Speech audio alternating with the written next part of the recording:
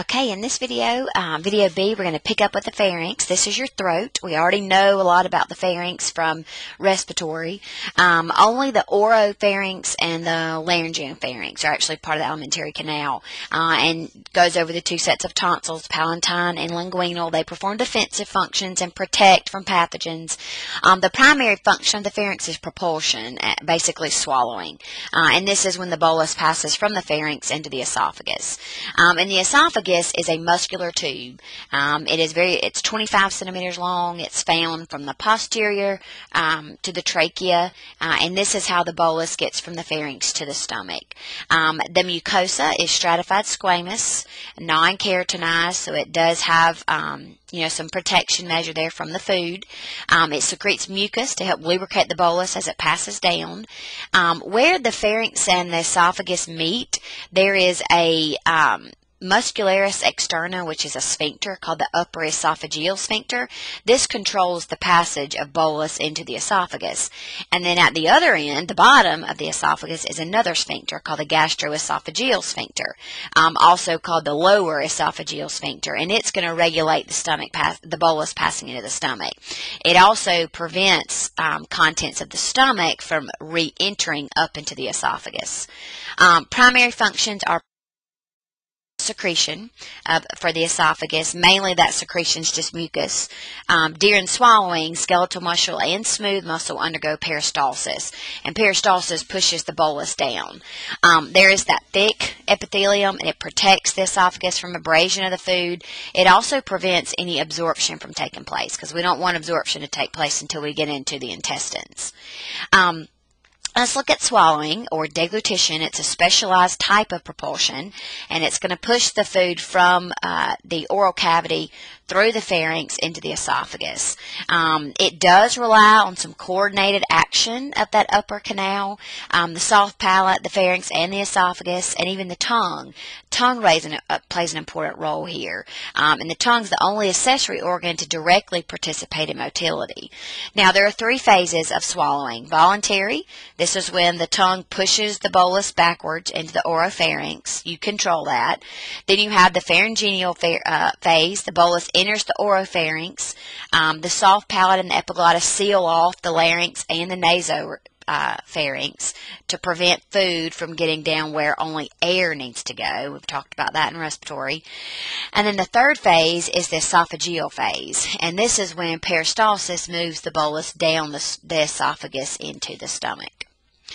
All right, so let's get to the stomach. Um, the esophagus, of course, pierces through the diaphragm, passes through the esophageal hiatus, and it empties into a J-shaped organ called the stomach.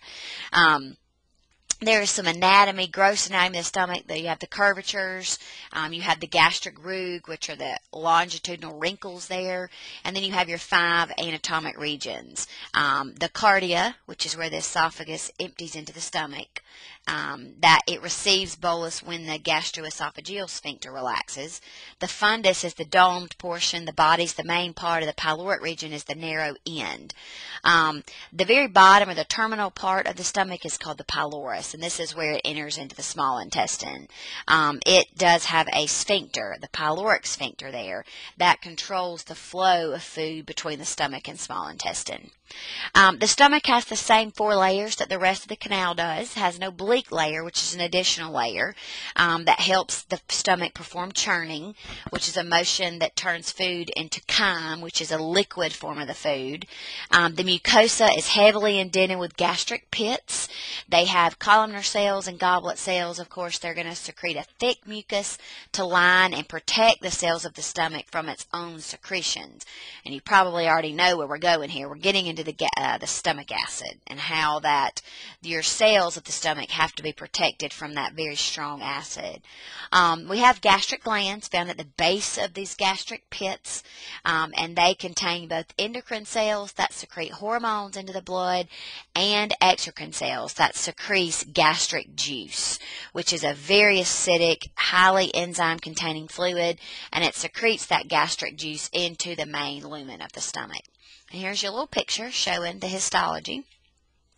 Okay, so let's talk about the four main types of cells that are in these gastric glands. Right here is a picture of this gastric pit. The top part is the gastric pit, uh, mainly goblet cells and some mucus, thick mucus cells. Um, and you can see that thick layer of mucus there. And then the inferior portion is the gastric gland. So this is where we're going to get into the different types of cells. Located at the very bottom are the enteroendocrine cells. They secrete the hormones. The hormones influence digestion. Um, for example, gastrin is a hormone that stimulates acid secretion. Um, and then next you have chief cells. And chief cells secrete the pepsinogen, which is an inactive precursor enzyme. It's called pepsinogen. When pepsinogen encounters an acidic pH, it becomes pepsin. Pepsin is the active enzyme. That starts protein digestion in the stomach. So, one more time. Chief cells make pepsinogen, which is the inactive enzyme. When pepsinogen comes in contact with an acidic pH, it forms the active enzyme pepsin, and pepsin breaks down proteins in the stomach. You also have parietal cells. They're the ones that are going to secrete hydrochloric acid. Hydrochloric acid is responsible for the very low pH in the stomach. Um, acid's an important part of the gastric juice because it we just learned it activates pepsinogen, uh, it destroys disease causing organisms, and it stimulates the parietal cell production of the chemical intrinsic factor. And intrinsic factor is required in order for your intestines to absorb vitamin B12. Probably heard how important vitamin B12 is to metabolism, um, and the intrinsic factor is the only way the intestine can absorb that vitamin B12. Um, it's great and fine if you get stuff in, in the intestines, but if the intestines don't absorb it, it's just going to be defecated from the body. Um, and then the last four, the fourth type of cell, are the neck cells or your mucosa neck cells. They're located near the top. They're the ones that secrete the acidic mucus that prevents the neutralization of acid produced by the parietal cell. So it's going to help prevent and, and maintain that low stomach pH. Okay, so here are some functions. Um, there are three primary functions, secretion, propulsion, and digestion. Um, so we'll start with the acid secretion. Uh, of course, the gastric glands um, secrete multiple exocrine products which produce the hydrochloric acid that's released by the parietal cells. Um, it's continuously secreted throughout the day um, in between meals. This is called your basal rate.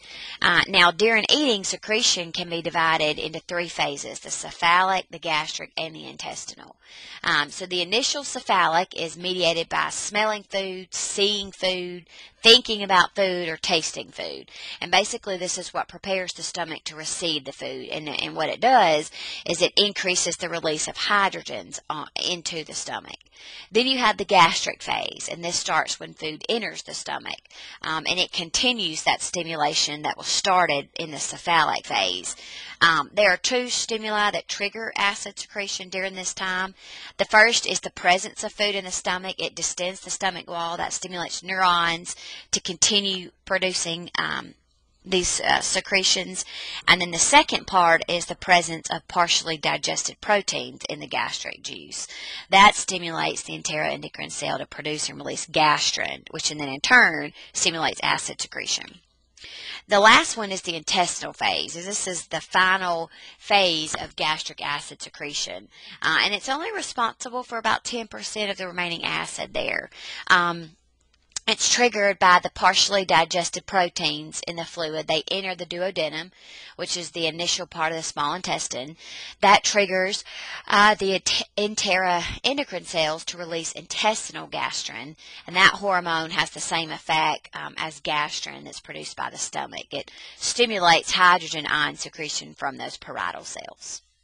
Um, the stimulatory effect of the intestinal phase is brief. Okay, so as chyme enters the duodenum, um, the declining pH and the presence of lipids trigger the enterogastric reflex, which decreases vagal activity and acid secretion. So once this chyme gets into the small intestines, the pH is going to encounter a much different pH. You know, the stomach's very low, intestines not. Uh, and the presence of these lipids trigger this enterogastric reflex, which is going to slow down acid secretion in the stomach. Um, the low pH in the duodenum also triggers some hormones um, in the mucosa of the duodenum, um, secretin and GIP, the gastric inhibitory peptide. Both of those hormones again reduce acid secretion. Um, we don't we don't need any more acid secretion once the stomach is, is the contents of the stomach enter into the small intestine. All right, the motility of the stomach. Um, the motility enables three actions to receive food, churn it up, and then empty it into the in, in, intestine. So the receptive function in its resting state, the stomach can contain about 50 milliliters. Um, it can expand to 1500 when filled with food and liquid. Um, as the food and liquid swallowed, that gastroesophageal sphincter and the smooth muscle of the fundus in the body relax. That allows the stomach to fill. This is known as receptive relaxation. Then the churning function begins. Um, and after a meal, the smooth muscle starts producing waves of peristalsis. Um, this is controlled by a group of cells called the gastric pacemaker. Um, now, what the peristalsis does is it propels the bolus to the pylorus, um, and that's where small amounts of chyme are sent to the um, through the pyloric sphincter into the duodenum at a time. The remainder of the chyme is pushed backward um, into the stomach where more peristalsis waves churn and mix up the chyme, and this process continues to repeat. Um, the pacemaker controls the rate of peristaltic waves, um, and it's constant at about three per minute. Then you have the emptying function, and this is the final part of gastric motility. It controls moving the chyme into the duodenum. Of course, this is going to have to pass through the pyloric sphincter, and different things pass through at different rates. Liquids are obviously going to move pretty quickly. There's really no delay there, um, but solids eventually, uh, basically have to be converted into a liquid before they can get in there. Um, and the key factor that determines this rate of emptying is amount and the composition of that chyme into the duodenum. Um, the control of gastric emptying is critical um, because the duodenum must mix the incoming chyme thoroughly before it moves to the to the rest of the small intestine. There's two reasons. Uh, the first chyme is acidic, so the duodenum has to mix it with bicarbonate so that it doesn't damage the intestinal mucosa. Uh, the intestinal intestines are not equipped to handle a low pH. So if a low pH gets there, it's going to damage the mucosa. That's where bicarbonate helps buffer that. Uh, the second is that the chyme is really concentrated and it needs to be diluted with some water from the pancreatic juice to prevent that chyme from drawing water into the intestines by osmosis. Because you guys know water travels from high to low. So if there's not a lot of water inside the intestines, you're going to have an infiltration of that. Um, and then the duodenum can only process chyme so quickly. Um, it has to receive very small amounts at a time so that it can adjust uh, to that incoming chyme. Okay, we're going to stop there in this video. We will pick up in the, in the next video.